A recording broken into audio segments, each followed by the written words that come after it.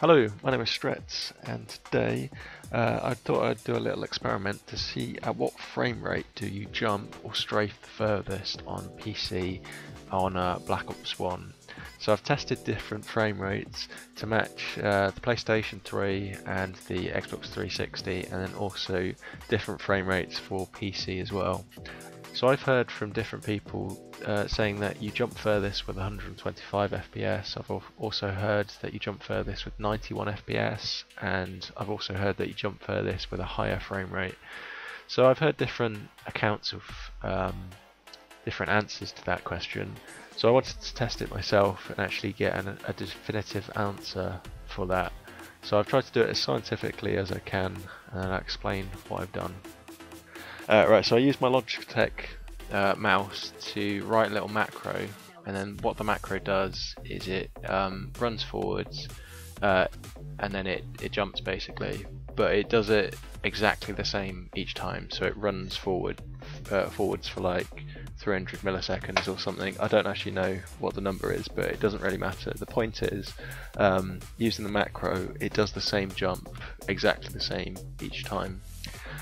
So what I did was I went on to Der Riese, I sat in this corner and then I would uh, press the mac macro button, it would jump forwards and then um, I would change the FPS and then I, I, would repeat the same jump again.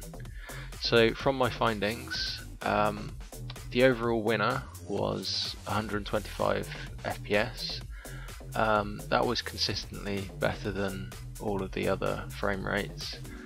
Um, it's a bit weird though because there doesn't seem to be a direct correlation. It doesn't seem like the higher the FPS, the the further you jump. Um, it peaks at 125, but then if you go beyond 125 FPS, then your strafes go a lot shorter. But at the lower frame rates, like 30, 40, 50, 60, 70, 80 or 90, it's kind of like a zigzag pattern, which is really odd. Generally, it goes up. The higher the frame rate, the further you jump.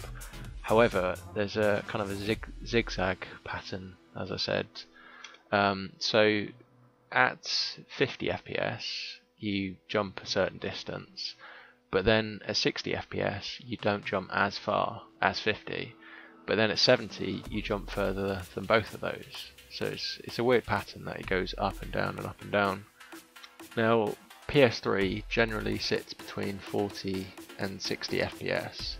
So when you do something demanding on the PlayStation like killing the horde or jumping through a trap, um, something that is going to drop the frame rate, um, when you go down to like 40 or 50 FPS, then weirdly you can jump further than if you're at 60 FPS.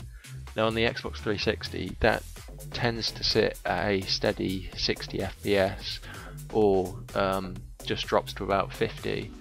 So I I think you can probably jump further on PlayStation than in, than you can on Xbox.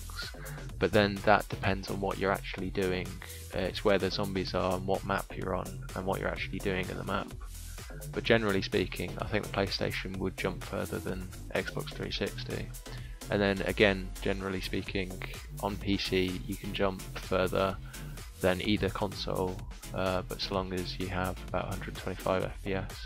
So one more thing I tested was I um, stood on the stairs by the bridge strafe and then I uh, jumped in this direction and then I would either hit my head on the roof or I wouldn't hit my head on the roof. So this I was testing the actual jump height and I found that 71 FPS, 125 and then 200 above 220 FPS you would jump the highest. So all of those frame rates I would hit my head on the roof but then any of the others uh, I wouldn't.